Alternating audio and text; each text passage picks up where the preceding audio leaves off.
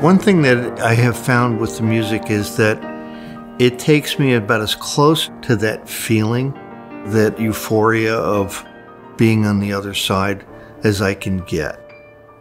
It's almost like there's a, a connection that I, I can access. It's a frequency that I'm able to tune into. And, you know, lots of people have speculated that our brain is nothing more than a receiver. There's no way in the world it could house all the information that we have access to.